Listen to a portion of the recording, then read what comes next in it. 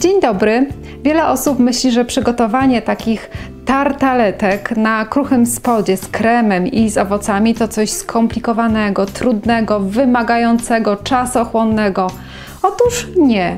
Jest to bardzo łatwe w przygotowaniu ciastko, e, szybkie, proste. A jak je przygotować? Zapraszam Was na film.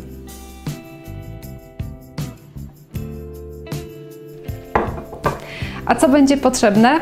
Zaczynam od truskawek. Tych oczywiście jest tutaj za dużo, chociaż kto Wam broni, możecie dodać naprawdę dużo tych owoców, bo są bardzo aromatyczne. Ja wykorzystam około 200-300 gramów truskawek.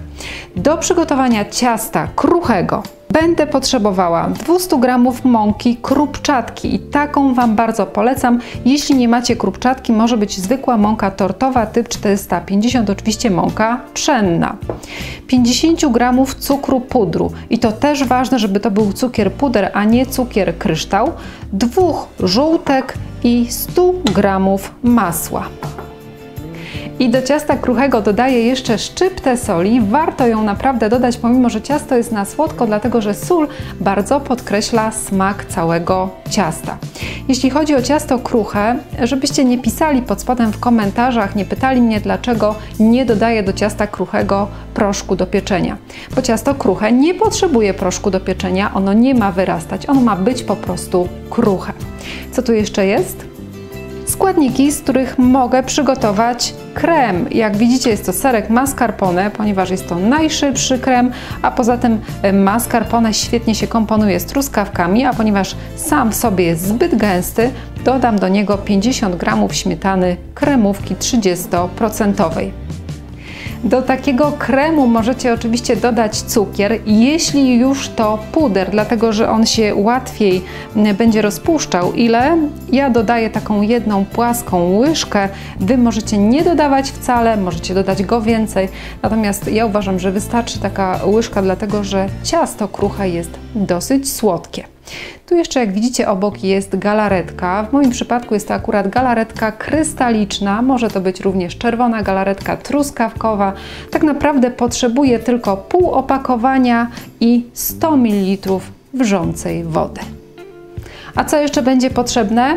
Zacznę od tartaletek, foremek na tartaletki. E, te foremki mają średnicę 10 cm, wysokość 2,5 cm i takich tartaletek będę potrzebowała w sumie 6. Potrzebna będzie jeszcze deska do krojenia, nóż, widelec, łyżka.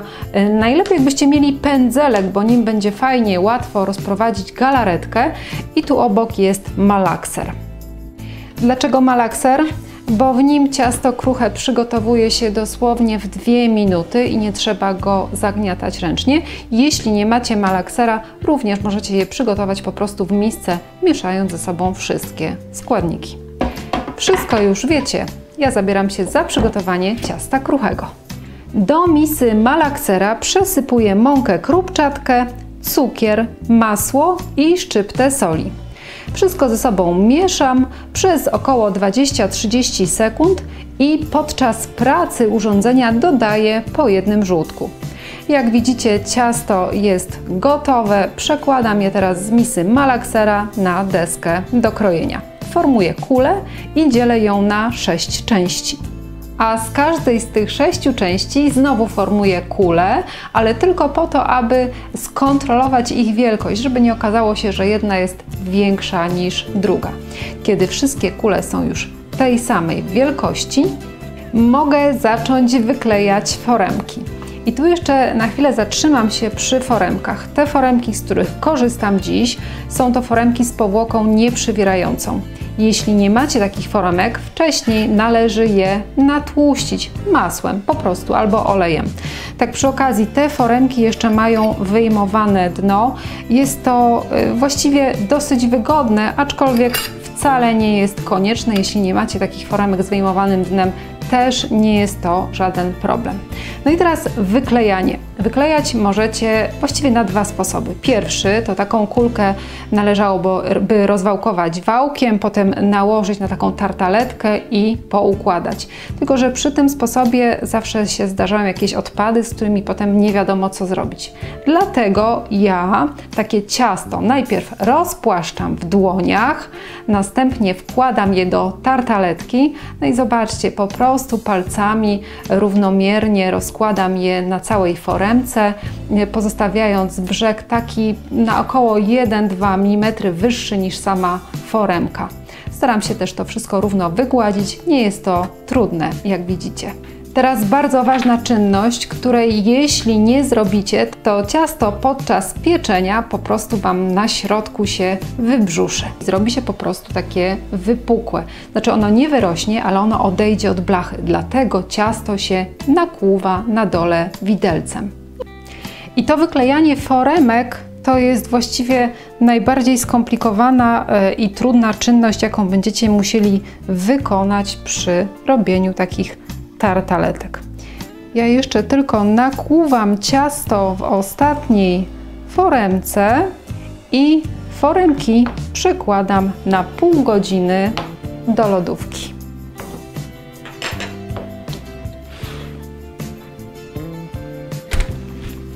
A w tym czasie przygotowuję truskawki. Oczywiście najpierw je myję, potem zdejmuję szypułki i ponieważ są dosyć spore, kroję je na ćwiartki. Możecie również pokroić na plasterki, a jeśli są takie malutkie, drobne, to możecie zostawić je w całości. Świeże truskawki, sami przyznacie, wyglądają pięknie i apetycznie. Natomiast z czasem, kiedy poleżą sobie na takich tartaletkach, obeschną, zrobią się matowe, no i zeschną, właśnie nie będą już tak apetycznie wyglądały. Stąd ta galaretka. Galaretka spowoduje, że owoce nie będą obsychać i będą cały czas właśnie takie piękne, błyszczące. Jak przygotować galaretkę? Połowę opakowania galaretki, która przeznaczona jest na pół litra wody, przesypuję do miseczki. Do miseczki cały czas mieszając wlewam również 100 ml gorącej wody. Cały czas mieszam tak, aby się galaretka równomiernie rozpuściła. Oczywiście na dnie pozostaną kawałki żelatyny, dlatego raz na jakiś czas warto w takiej galaretce pomieszać. Teraz przyszła pora na rozgrzanie piekarnika. Piekarnik rozgrzewam do 180 stopni, górne i dolne grzanie. Schłodzone tartaletki wyjmuję z lodówki i przekładam je od razu do rozgrzanego piekarnika. To jest ważne. Przekładam je na środkową półkę.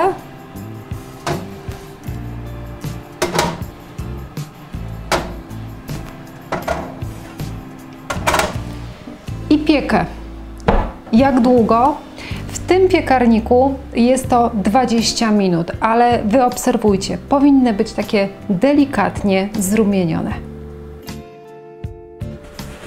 Minęło 20 minut. Zobaczcie, jak wyglądają babeczki. Są delikatnie zarumienione i takie właśnie powinny być. A dzięki ponakłuwaniu nie wyrosły na środku. Przed nałożeniem kremu do babeczek muszą całkowicie przestygnąć, a w tym czasie, kiedy one będą stygły, ja przygotuję krem. To jest bardzo prosty w przygotowaniu krem. E, możecie jeszcze oczywiście takie babeczki wypełnić kremem budyniowym, chociaż ja osobiście uważam, że taki budyniowy krem to się bardziej nadaje do zapiekania, a do truskawek bądź innych świeżych owoców to taka właśnie kremowa masa, jaką możecie przygotować z serka mascarpone i ze śmietany kremówki będzie tą idealną. A jak przygotować taki krem? Wystarczy do serka dodać śmietanę. Ja Wam polecam, żebyście dodawali ją partiami, żeby Wam nie pryskała i ewentualnie właśnie cukier. Ja dodaję jedną łyżkę i zobaczcie, masa kremowa, śmietanowa, pyszna jest już gotowa. Wystygły całkowicie. Zaraz będę nakładać krem. Jeszcze tylko Wam pokażę, żebyście się nie martwili, jeśli nie macie takich e, tartaletek, które mają wyjmowane spody, że taka tartaletka po prostu sama, e, bez tego wypychania jej od spodu też jest do wyjęcia, także nie musicie wcale mieć takich specjalnych foremek. One wystygły, więc ja nakładam. Zaczynam od kremu. Cały krem rozkładam porówno na wszystkie sześć babeczek, wyrównuję i teraz biorę się za truskawki. Truskawki, zanim przełożę, zanurzam najpierw w tej galaretce, takiej gęstej. Ona już zaczyna tężeć, więc przykleja się do truskawek. I teraz odsączając truskawki z nadmiaru galaretki, układam je na kremowej masie z serka mascarpone. A taka galaretka, oprócz tego, że nada połysku i świeżości owocom, to też działa trochę jak taki klej, bo jak zastygnie, spowoduje, że te wszystkie owoce będą się trzymały i będzie łatwo jeść taką tartaletkę. Zobaczcie, tutaj mi w misce zostało trochę truskawek. One już tracą swój połysk, natomiast zobaczcie, jak te pięknie się błyszczą. Jeśli zostanie Wam trochę galaretki, ja nie wiem jak to robię, ale mi zawsze zostaje, wtedy biorę taki właśnie pędzelek i tym pędzelkiem taką mocno stężałą galaretkę nakładam jeszcze na wierzch owoców. Ona zabezpieczy naprawdę fajnie owoce, one nie będą obsychały, no i zobaczcie jak pięknie to wygląda. Myślę, że takich tartaletek nie powstydziłaby się żadna cukiernia. Jak widzieliście, ich zrobienie wcale nie jest trudne, a wręcz bardzo łatwe. Polecam Wam bardzo ten przepis. Za chwilę przekroję dla Was taką tartaletkę. Zobaczycie, jak ona e, wygląda w środku. I pozostaje życzyć mi Wam smacznego i do zobaczenia.